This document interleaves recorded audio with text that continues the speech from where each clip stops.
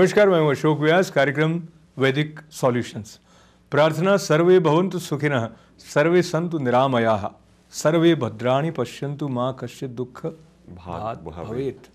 और इन प्रार्थनाओं को याद करने और करवाने के क्रम में फिर एक बार हमारे साथ हैं डॉक्टर प्रशांत आचार्य। प्रशांत जी आप अपना परिचय में यदि आज कुछ कहना चाहें प्रारंभ में तो क्या कहेंगे? मेरे परिचय में? दो बातें आप सुन लीजिए। भाई, सत्य का अन्वेषक और विवेकी। बस दो ही बातें हैं मेरे पास में कि भाई, जहाँ सत्य है, मैं उसकी तरफ़ भागता हूँ, बढ़ता हूँ और अपने असत्य को छोड़ने के लिए हमेशा तैयार रहता हूँ। और निरीक्षक, परीक्षक की दृष्टि है कि देखना, जानना चाहता हूँ, अंदर घुसना चाहता हूँ किसी भी वाक्य, चीज़ के, जितनी मेरी क्षमता है उसके अनुसार। तो ये सत्य का अन्वेषक जो है, ये एक बहुत ही प्रेरक आ, सी बात है। अंग्रेज़ी में कहें तो इन्वेस्टिगेशन शब्द भी आता है अन्वेषक के समकक्ष। पर ये कुछ और गहरी और सूक्ष्म बात है। तो सत्य के अन्वेषण को लेते हुए जब आपने वेदों का अध्ययन किया तो क्या आपको लगा कि वैदिक जो चिंतन अगर हम उसे कहें वो सत्य की तरफ़ ले जाने के लिए विशेष रूप से प्रेरणाएँ देता है? आ, देखो हम अपनी संतुष्टि चाहते हैं जी। माने व्यक्ति हर एक व्यक्ति खोज कर रहा है। किसी न किसी चीज़ की खोज कर रहा है व्यक्ति। वास्तव में वो खोज किस चीज़ की कर रहा है? सुख की खोज कर रहा है। संतुष्टि की खोज कर रहा है शांति की खोज कर रहा है। और उसको वो मिल नहीं रही है। और व्यक्ति अपने उद्देश्य की ओर से भटका हुआ भ्रमित है प्रत्येक व्यक्ति। और वास्तव में तो वो अपने उद्देश्य को ही खोज रहा होता है। कि मुझे जाना कहा, अपनी डेस्टिनी को, क्या मेरी डेस्टिनी है? और जो उसका प्रेजेंट है, उससे वो सेटिस्फाई नहीं है। वो कहीं फ्यूचर में जो उसने कुछ अपना इमेजिन कर लिया है, वो उस तरफ़ बढ़ना चाहता है। तो जैसे ही वो उधर बढ़ने की कोशिश कर रहा है तो जैसे ही वो एक कदम आगे बढ़ाता है तो जो उसकी डेस्टिनी है, वो चार कदम और आगे बढ़ जाती है मेरेज के समान, ना? मृग मरीचिका के समान। तो जब व्यक्ति वेदों की ओर जाता है। माने मैं आपको वेदों की ओर ले जाने से पहले ये बैकग्राउंड बताना आवश्यक है। जी। क्योंकि वेदों को के अंदर एकदम डीप हम बात करेंगे तो शायद समझ नहीं आएगी एकदम सबको।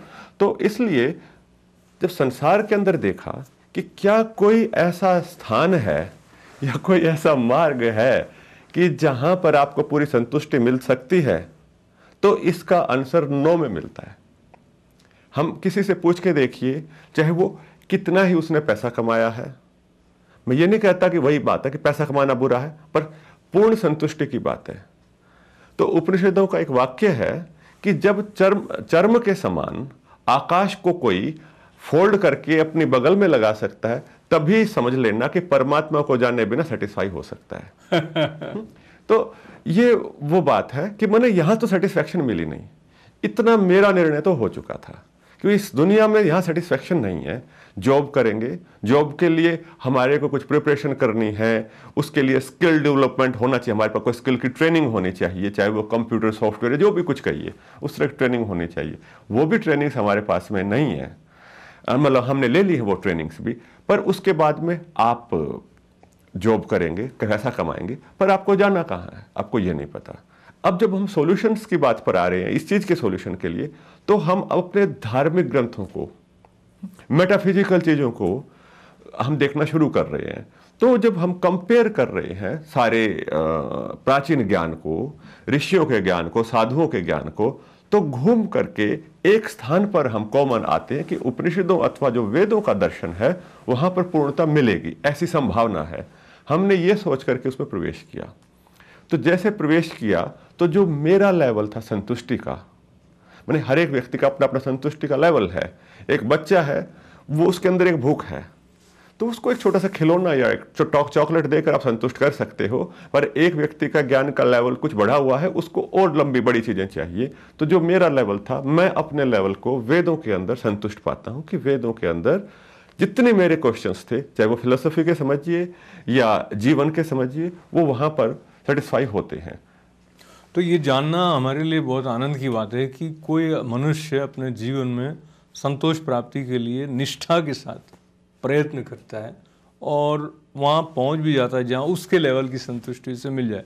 और सत्य के अन्वेषक को यदि कहीं संतुष्टि मिल जाती है तो वो जो स्तोत्र है वो जो ज्ञान का समागम जहाँ वेदों के रूप में है उस, उसके बारे में थोड़ा बहुत जानना हमारे लिए भी कल्याणकारी होगा ऐसी श्रद्धा और बढ़ जाती। तो आपने कहा कि आप उसमें कहीं अपने संतोष को पा गए तो कोई एक सूक्ति वेद की ऐसी रही क्या जब जिस पर चिंतन करते हुए आपको लगा कि आहा ये कुछ ऐसा है जो मेरे अंदर खुल रहा है वेद के इस वचन से? अच्छा। नहीं यद्यपि मतलब देखो मैं एक वेद मंत्र की बात नहीं कर रहा हूँ यहाँ पे। बहुत सारे मंत्रों के अंदर जीवन का मतलब रमण करते रहे हैं घूमते रहे हैं मंत्रों के भीतर। परंतु जैसे आप कह रहे हैं कि एक दो वाक्य मैं चाहूँगा कि जिन हाँ। वाक्यों से मुझे बड़ा आनंद की अनुभूति हुई। बिल्कुल। कि एक शब्द कहा परमात्मा के दर्शन कहाँ हो सकते हैं? ये उपनिषद का शब्द है। बोले दहरे पुंडरीकम। जो आपके हृदय में स्थित कमल है उसके अंदर उस परमात्मा के दर्शन होते हैं। अब वो हृदय कहाँ है? आपकी कॉन्शियस रहती कहाँ है? तो इस बारे में चर्चा मिलती है उपनिषदों में। मैं पूरे वो मंत्रों के वो नहीं दे रहा हूँ मैं केवल आपको भाव बता रहा हूँ कि आपकी चेतना कहाँ रहती है? हमें तो नहीं पता है। तो देखो हमारी चेतना कहा कि मस्तिष्क में रहती है? सेंटर में रहती है मस्तिष्क के। जब हम जागते रहते हैं जीवात्मा के, जो कॉन्शियस के चार लेवल्स हैं जिसमें वो रहती है। लेवल्स कहिए या माने चार स्थान है जहाँ पर वो रहती है। जागृत स्थान में, जागृत में वो नेत्रों के पीछे रहती है। और जब वो सो जाते हैं तो हमारी इंद्रियाँ बाहर से सो जाती, अंदर फिर भी जगती रहती हैं। उसको स्वप्न अवस्था कहते हैं, तब वो जीवात्मा कंठ में रहती है। तीसरे नंबर पर, जब हम गहरी नींद में चले जाते हैं तो हमारे को स्वप्न भी आने बंद हो जाते हैं। उस समय हमारी जीवात्मा हमारे हृदय में रहती है हार्ट में रहती है। चौथी स्थिति है तुरीय समाधि की, उसमें भी हृदय में रहती है। अब चिंतन ये हुआ कि ये हृदय स्थान कहाँ है? चर्चा ये चलती है मतलब बहुत सारी आध्यात्मिक चर्चाएँ हैं ये कि कहाँ पर यह हृदय स्थान है। तो दो प्रकार के मंतव्य मिलते हैं इसमें शास्त्रों में कि बोले वो हृदय स्थान मस्तिष्क के बीच में है। दूसरे ने कहा, दोनों स्तनों के चेस्ट के बीच में अंदर है, वह हृदय स्थान। तो कहाँ पर उसके दर्शन होंगे? तो बोले, जब हम जागते हैं तो हम परमात्मा को बाहर का जो ज्ञान है, वो लेते हुए भी आनंदित होते हैं। जैसे हम पुष्प की बात करते हैं, कि पुष्प को देख करके हम आनंदित हो रहे हैं। वो आनंदित हम तभी हो पाएँगे, जब हम अपने भीतर से किसी संतुष्टि है, संतुष्ट हैं। और या हम उस पुष्प से हम परमात्मा की रचना के रूप में उस पुष्प को देख पाएँगे या जोड़ पाएँगे, तब हम आनंदित होंगे बाहर देखते हुए भी। परंतु जब हम समाधिस्थ होंगे, अर्थात हम अपने बाहर की सारी विचारों से, बाहर के सारे बंधनों से स्वयं को तोड़ लेंगे, हटा लेंगे, पीछे ले जाएँगे अपने आप को, इंद्रियों को पीछे की ओर मुख कर लेंगे इंद्रियों का तो आप जैसे ही भीतर जाएँगे, हृदय की ओर बढ़ेंगे तो आप बाहर से बंद होते जाएँगे और वहाँ भी पहुँच जाएँगे कि जहाँ आपका ये जो हृदय है जैसे जैसे ध्यान में आप गहरे जाते जाएँगे तो आपकी चेतना ऊपर से नीचे की ओर आती चली जाएगी और यहाँ आकर के बिल्कुल शांत हो जाती है। तो ना इस प्रकार का जो आध्यात्मिक विज्ञान था, इस आध्यात्मिक विज्ञान की चर्चा बहुत विस्तार से है और यह मानव जीवन के निर्माण का एक विज्ञान है। आप देख सकते हैं कि एक व्यक्ति विशेष, उसकी एक हैबिट है और वो बचपन से वही हैबिट चल रही है उसकी। तीस चालीस साल से। उसको लगता है कि ऐसी बात होते ही मुझे क्रोध आता है। अपने वो स्वरूप का अंग मान लेता है, ऐसे एक अभ्यास को। तो वो अभ्यास को हटाने का, अपनी उस हैबिट को दूर करने का तरीका आपको अंदर मिलेगा। ऐसी पूरी साइंस है। तो पूरी साइंस जो वेदों में है, उसका उल्लेख अध्यात्म से या दर्शन से करते हुए जब प्रशांत जी कहते हैं कि अपनी तीस चालीस बरस की आदतों को बदलने का विज्ञान भी आपको वेद में मिलेगा तो कहीं ना कहीं मनोवैज्ञानिक दृष्टिकोण से हम जिस ज्ञान को समझ रहे हैं, वो ज्ञान भी निश्चित रूप से वेदों में है ही है। तो मनोविज्ञान को लेते हुए संबंध हमारे कैसे बनते हैं, उनमें हारमोनी, उनमें समन्वय हो, इसकी भी कुछ न कुछ टिप्स कह दीजिए हमें, वैदिक सॉल्यूशन कार्यक्रम में मिलनी चाहिए। विशेष करके हम बात करते हैं पारिवारिक संबंधों की, और जब हम भारत से दूर आ गए हैं तो कहीं ना कहीं माता पिता के मन में भारतीय संस्कारों का एक बोध रहता है। वो चाहते हैं कि उनके जो संतान है उनमें भी उसका प्रतिबिंब आ जाए जबकि उनका परिवेश अलग है। तो एक खींचतान अलग प्रकार की भारत से बाहर आने के बाद संबंधों के स्तर पर अपेक्षा को लेकर हो जाती है। इस दिशा में यदि आप वैदिक वांग्मय में डुबकी लगा कर देखें तो क्या मनुष्य का अभ्यास रहे कि जो उसको मदद करे कि उसकी जो संतान है वो उस परंपरा के साथ जुड़ी रहे जिसको वो अपनी धरोहर के रूप में लेते हैं। देखो हमें अपने मूल से जुड़ना है। हम चाहते हैं कि अपने मूल से हम जुड़े। एक वेद का एक सामान्य सा एक वाक्य बोलता हूँ। मैंने प्रसिद्ध वाक्य है। समन्वय सूक्त संगठन सूक्त के कुछ शब्द बोलूँगा और उनको हम अपने जी, जीवन संगठन सूक्त जो है हाँ जी। ये भी वेद में इससे हाँ जी संगठन सूक्त ऋग्वेद का जो दशम मंडल है मतलब लास्ट चैप्टर है, उसका सबसे अंतिम सूक्त है। पूरा दैवीय ज्ञान, देव दैवी ज्ञान वेदों में आया और सबसे अंत में परमात्मा की ओर से यह संकेत हुआ, दिव्य संकेत यह हुआ, सबसे अंत में कि संगठित रहना है, प्रेम से रहना है। तो उसका जो सूत्र मिला, वो यह सूत्र मिला कि संगच्छध्वम बिल्कुल सामान्य बात है कि साथ साथ चलो। समवदध्वम सम वो मनान से जानताम। अपने मनों को एक जैसा रखो और साथ साथ बोलो। अब देखिए संगच्छध्वम हमें अगर प्रेम से रहना है तो हमें साथ साथ चलना पड़ेगा। हम कहीं नहीं जाते साथ साथ हम कहीं और जा रहे होते हैं, बच्चे कहीं और जा रहे होते हैं मित्र कहीं और जा रहे होते हैं, किसी कारण से हम इकट्ठे होते हैं, पर हम साथ साथ जाने का हमारा अभ्यास नहीं है। और देखिए साथ साथ जब हम चलते हैं तो एक बड़ी शक्ति बढ़ जाती है। आप और जब हम मान लीजिए कदम से कदम मिला करके जैसे आर्मी मार्च करती है चलती है तो उनको बोलते हैं कि ब्रिजेस के ऊपर से नहीं जाना क्योंकि इतनी बड़ी रेजोनेंस उत्पन्न हो जाती है कि जिससे बोले ब्रिज भी टूट सकते हैं ऐसा कहते हैं।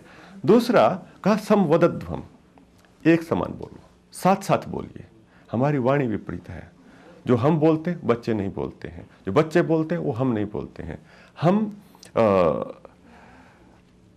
एक भाषा हमारी नहीं है। हमें अपनी भाषा के ऊपर विशेष रूप से ध्यान देना होगा।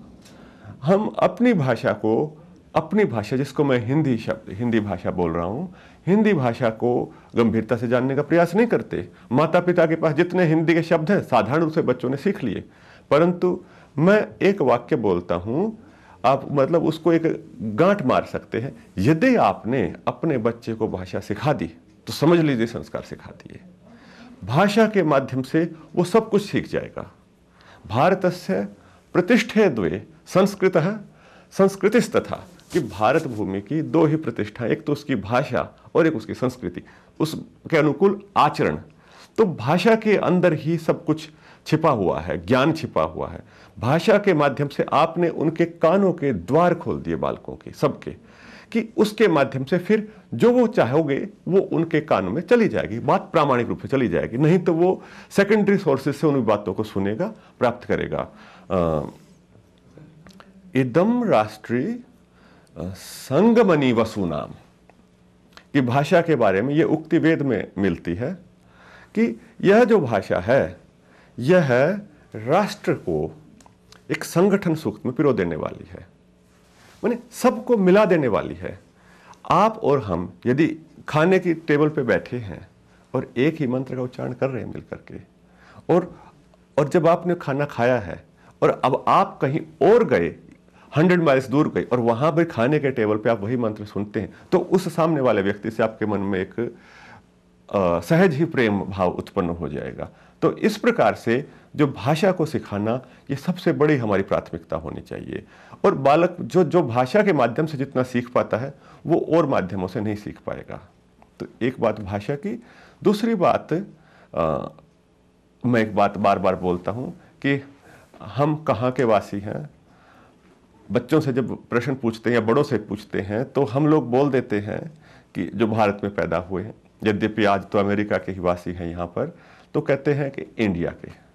नहीं इंडिया शब्द में वह बात नहीं है जो भारत शब्द में बात है। भा भा मैंने ज्ञान, भायाम रत है ब्रह्म विद्यायाम रत है इति भारत है। कि जो ज्ञान की चर्चा में जो लोग रमण करते थे, निवास करते थे, उसका नाम भारत था, वहाँ के निवासी भारतीय कहलाते थे। तो जो ये भाव शब्द है, यह भा शब्द ही अपने आप में बहुत महत्वपूर्ण है। इस भा शब्द से ही हम एक बहुत उपदेश, बड़ा उपदेश ले सकते हैं कि जिनको भारत से जुड़ना है, भारतीय संस्कृति से जुड़ना है, भारतीय सभ्यता से जुड़ना है तो वो इस भा शब्द से ही उपदेश ग्रहण कर ले। सबसे पहले भा से होता है भाषा, कि भा से हम भाषा को अपना लें। अपनी भाषा यदि हमने पकड़ ली, और इसलिए भी नहीं कि वो अपनी है। यदि आप कंपेयर करेंगे उस भाषा का तो वो वास्तव में अन्य भाषाओं की अपेक्षा से भाषा दूसरी कोई खराब नहीं है, परंतु हमारी भाषा की जो समृद्धि वो बहुत ज़्यादा समृद्ध है भाषा।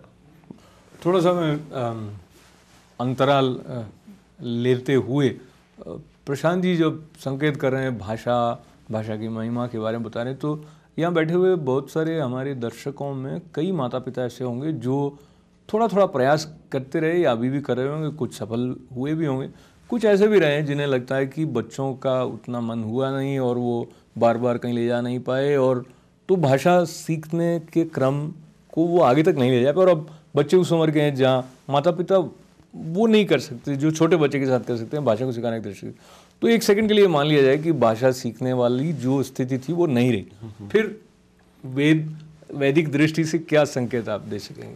देखो, जब हम अब हिंदी भाषा नहीं सिखा पाए तो देखो, उनको फिर हमारी भाषा अपेक्षा में जैसे संस्कृत भाषा की मैं बात करूँगा फिर जी।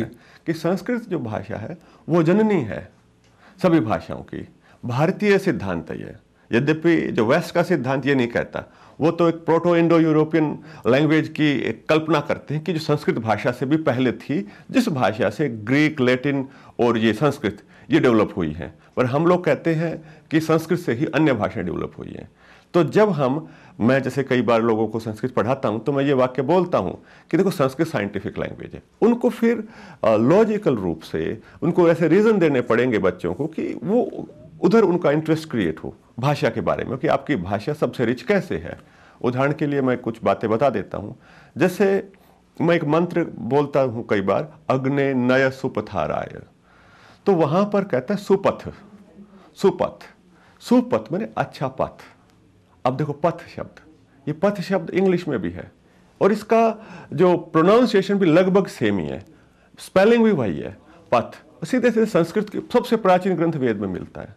और सुनिए जैसे एक प्रोनाउंस की बात करते हैं हम हम्म, कि प्रोनाउंस जो नाउन के स्थान पर संज्ञा के स्थान पर जो शब्द प्रयोग होते हैं उनको हम प्रोनाउंस बोलते हैं। बिल्कुल। हम्म, तो अब देखिए प्रोनाउंस की कहानी देखिए संस्कृत कैसे हमारी सभी भाषाओं की जननी कैसे है? मैं हिंदी के और इंग्लिश के प्रोनाउंस की चर्चा करूँगा।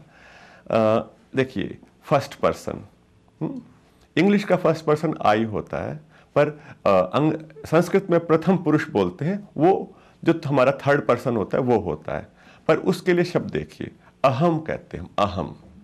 अहम, और संस्कृत में बोलते अहम, और इंग्लिश में बोलते हैं आई पर आई केवल आई नहीं है आई के साथ में होता है आई एम ये जो एम शब्द है ये एम कोई एम के ही दो टुकड़े हैं। ठीक है जी? अब आ, हम के लिए हम्म, हम इंग्लिश में शब्द है वी और संस्कृत में शब्द है वयम। तो वयम और वी कितनी समानता आप देखिए। वहाँ से आई है चीज़। अब देखिए सेकंड पर्सन की बात। सेकंड पर्सन को यू बोलते हैं हिंदी में हम तुम बोलते हैं। तो संस्कृत के अंदर सेकंड पर्सन के लिए तीन शब्द हैं सिंगुलर ड्यूअल और प्लूरल जबकि इंग्लिश में हम केवल एक ही शब्द से काम चलाते हैं, वो शब्द है यू तो संस्कृत के अंदर फ़र्स्ट पर्सन सिंगुलर के लिए शब्द है त्वम, जिसको हिंदी में बोलते हैं तुम। और ड्यूअल के लिए, दो लोगों के लिए भी एक वर्ड है, उसको कहते हैं युवाम। और प्लूरल जो था, वो था यू यम। तो उसमें से केवल यू ले लिया। यू यू यू यहाँ पर चल रहा है। अभी देखिए थर्ड पर्सन की बात करते हैं हम जिसमें ही शी और इट होता है सिंगुलर में तो शी को कहते हैं संस्कृत में सा। और उसी का जब आ, जब हम जेंडर चेंज कर देते हैं मैस्कुलिन करते हैं वो होता है सह उसको ही कहते हैं। इसके बाद में जब उसका प्लूरल होता है उसको हम कहते हैं दे और संस्कृत के अंदर उसको कहते हैं ते। कितनी समानता है? आपको बहुत बार तो ऐसे लगेगा कि अनेक स्थानों पर संस्कृत और इंग्लिश अधिक निकट है। हिंदी में कई बार दूसरे शब्दों का भी मिश्रण हुआ है। तो भाषा को तो बताने का एक ही माध्यम है। दूसरे हमारी जो लिपि है हमारी जो ट्रांसक्रिप्ट है देवनागरी वो भी अपने आप में बड़ी साइंटिफिक है। उसमें भी विज्ञान छिपा हुआ है। इसकी चर्चा अभी हम यहाँ पर नहीं कर पाएँगे। तो, तो भाषा के बारे में तो इस प्रकार से हम वैज्ञानिक बातें कर सकते हैं। इसके साथ में फिर हमें अपने कल्चर के बारे में भी, हमारे जो चिंतन है हमारा, उसमें हम कैसे सबको साथ लेकर के चलते हैं, वैसे भी हम उनको बताएँगे बात। भाषा की बात मैंने बताई। तो मैं थोड़ा सा फिर प्रशांत जी का इस रोचक, तुलनात्मक रूप से हिंदी, संस्कृत और अंग्रेज़ी में जो एक रस्मय समानता है, उसकी तरफ़ हमारा ध्यान दिलाने के लिए धन्यवाद करते हुए समय की सीमा को देखते हुए मैं आपसे ये निवेदन करना चाहता हूँ कि भाषा का तो महत्व तो है ही है फिर भी आ, कुछ ऐसे व्यवहार जगत के आ, नियम हैं जो भाषा से परे मनुष्य समझ सकता है सीख सकता है। तो माता पिता के मन में जो ये भाव रहता है कि इनका सर्वांगीण विकास हो और कुछ ऐसे संकेत वैदिक जीवन या वैदिक प्रणाली से लेकर हम उनके साथ बांटें कि जो उन उनके मस्तिष्क के सर्वांगीण विकास में सहायक हों। इस इस तरफ़ बढ़ते हुए मुझे स्मरण आता है कि जो जो बात हम करते हैं उसमें कहीं ना कहीं जीवन के लक्ष्य के बारे में हमारी कॉमन अंडरस्टैंडिंग है कि नहीं है वो भी इम्पोर्टेंट हो जाता है। बिल्कुल। तो जो माता पिता अब यहाँ हम लोग जैसे जीवन जी रहे होते हैं तो हमारे दिमाग में है कि ये ठीक ठाक कैरियर इसका हो जाए उसकी ज़्यादा अच्छा पढ़ लिख ले ठीक ठाक व्यवहार में हो और शादी हो जाए लड़का लड़की जो भी पर जब आप वैदिक अवधारणा से बात करते हैं तो जीवन के लक्ष्य के बारे में शायद कुछ और एक बात है जो आप उन तक पहुंचाना चाहें। देखो, जीवन का लक्ष्य क्या है? व्यक्ति चलना शुरू करता है। जैसे एक स्टेडियम के अंदर राउंड राउंड सब सर्कल लगा रहे हैं, और मैं भी दौड़ रहा हूँ, आप भी दौड़ रहे हैं, और मैं आपको पकड़ने की कोशिश कर रहा हूँ। रेस है जीवन के अंदर स्ट्रगल है। स्ट्रगल के साथ में कंपटीशन है। हम भाग रहे एक दूसरे के पीछे कि वो आगे निकल गया है, मेरा काम चल गया, पर मुझे वहाँ तक पहुँचा, जहाँ तक वो पहुँच गया है, और हम दौड़ रहे हैं। और जब हम दौड़ रहे हैं और साथ वाले को देख रहे हैं, पर पहुँचना कहाँ है, ये हमें नहीं पता है।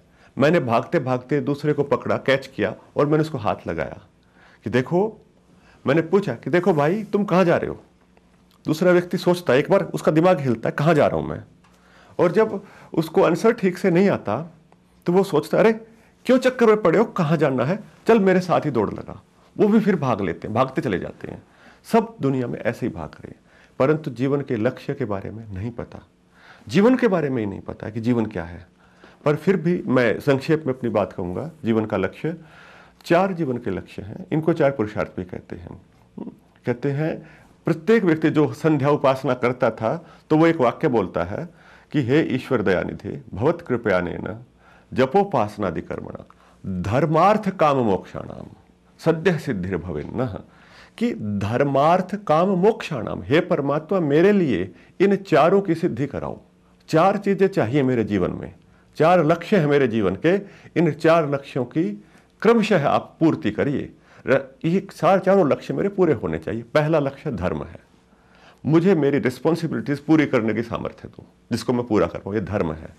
दूसरा अर्थ अर्निंग कैपेसिटी मेरे अंदर एबिलिटी प्रदान कीजिए परमात्मा कि मैं कमा पाऊँ बहुत ज़्यादा मैं कमा पाऊँ। इस तीसरी बात आ, काम है। मैंने मैं संसार को देख पाऊँ जान पाऊँ भोग पाऊँ क्या है संसार? इसकी वास्तविकता के दर्शन कर पाऊँ संसार के। और चौथी बात है मोक्ष मोक्ष मोक्ष क्या होता है? छूटना। मैं छूट जाऊँ। अब किससे छूट जाऊँ? तो इसका ऋषि उत्तर देते हैं, बोले, जिससे छूटना सब चाहते हैं। भाई किससे छूटना चाहते हैं? बोले, दुख से। दुख किसका नाम है? दुख नाम ही ऑब्स्टेकल्स का है। दुख नाम ही बाधना, लक्षणम, दुखम, दुख का जो बाधाएँ हैं, उन्हीं का नाम तो दुख है। उनसे हम छूट जाएँ। तो तीन लक्ष्य हम प्राय जीवन के अंदर बना लेते चौथा लक्ष्य नहीं होता। इसीलिए हमारे प्राचीन समय में ये लक्ष्य लगभग भारतीय प्राचीन सभी लोगों के अंदर जीवन में था किसी न किसी भाव में। तो जैसे ही बड़ी उम्र होती थी थोड़ी सी, सिक्सटीज में लोग पहुँचते थे तो बड़े लोगों को कहना शुरू कर दे सब लोग कि क्यों अब भी घर गृहस्थी के जंजाल में फंसे हुए, अब छोड़ो इसको। धीरे धीरे अलग हटो, राम का नाम लो, परमात्मा का नाम लो। तो इस प्रकार से उस लक्ष्य की ओर बढ़ने का प्रयत्न व्यक्ति करता है, क्योंकि उसको उस समय तक संसार के सारे अनुभव हो चुके होते हैं। तो उस वो भी हमारे एक जीवन का लक्ष्य है कि जीवन के सत्य को प्राप्त करना, कि जीवन क्या है, संसार क्या है। इसी बात को पता चलाना यह भी हमारे जीवन का एक बड़ा लक्ष्य है। जिस समय हमने अपने जीवन में अपने जीवन की जो आवश्यकता है उनको पूरा कर लिया, उसके बाद में हमारे जीवन का लक्ष्य यह होना चाहिए कि यह जीवन क्या है, इसको जानना। तो ये जो बात है हम में से कुछ लोग शायद उसी तरह होंगे कि दौड़ते दौड़ते किसी को छू लेंगे और वो कहेगा कि ये सवाल कि जीवन को जानना, इसको यहाँ छोड़ और मेरे साथ दौड़। तो शायद ये दौड़ते दौड़ते कभी ऐसी अवस्था आती है जब हमें लगता है कि हम जिस संतोष के पीछे भाग रहे थे, वहाँ तक हम पहुँच नहीं पाए। पर वो अवस्था आए, हम उसको पहचाने और हम उन बातों का अर्थ समझने का प्रयास करें जी, जो अभी अभी प्रशांत जी हमारे साथ बांट रहे थे। ऐसा अवसर हमारे जीवन में आए, ऐसी भी प्रार्थना है। मगर साथ ही साथ जो संबंधों का माधुर्य है, जो प्रगति के पथ पर बढ़ने का संतोष है, और जो सामान्य बातें हैं, जिनको लेकर हम मानते हैं कि हमारा जीवन सफल रहा, उनकी प्राप्ति के भी संकेत जिस प्रकार से वैदिक जीवन प्रणाली में हमें प्राप्त होते हैं, उनको और अधिक अधिक जानने का और समझने का प्रयास हम प्रशांत जी के साथ वैदिक सॉल्यूशंस के आने वाले कार्यक्रमों में भी करेंगे। चलते चलते कोई एक छोटा सा मंत्र आप प्रार्थना रूपी हमारे साथ बांटे। जो अभी हमने चर्चा करी, जो जीवन के चौथे लक्ष्य के विषय में, उसमें के अनुपनिषद का ऋषि कहता है, मैं उस मंत्र को बोलता हूँ कि इह चेद वेदी तथ सत्यमस्ति न चेद वेदी, न महति विनष्टि। भूतेषु भूतेषु विचित्य धीरा प्रेत्य अस्मा लोकात अमृता भवंती कि इस जीवन में यद्यपि हम लोग मानते हैं कि जन्म और मृत्यु ये एक प्रवाह से अनादि चक्र है, परंतु इस जीवन में ही उस लक्ष्य को प्राप्त कर लिया तो कर लिया, नहीं तो समझो महान विनाश है, फिर से उसी चक्कर में हमें पड़ जाना है। ये जीवन में एक अवसर आया है उस सत्य को जानने का और यदि उसको नहीं जाना इस जीवन में तो महान विनाश है। और जान लिया तो एक महान उपलब्धि है, जो अल्टीमेट अचीवमेंट है। और इस प्रकार से तुम अकेले नहीं हो इस चीज़ को जानने वाले। तुमसे पहले बहुत सारे, हज़ारों हज़ार, लाखों ऋषि इस प्रकार से प्राप्त करके उस सत्य को और अमृत को प्राप्त कर गए हैं। तो अमृत प्राप्त करने वाली सीख हम तक वैदिक सॉल्यूशन कार्यक्रम में ताज़ा ताज़ा ढंग से जो पहुँची है, उसके लिए डॉक्टर प्रशांत आचार्य का आभार। आप हमारे स्टूडियो में रहे आपका बहुत बहुत धन्यवाद है। और आप हमारे साथ बने रहें ऐसी प्रार्थना के साथ, मंगल कामनाओं के साथ। आज आज का वैदिक सॉल्यूशन कार्यक्रम समाप्त करने की अशोक व्यास को अनुमति दें। नमस्कार।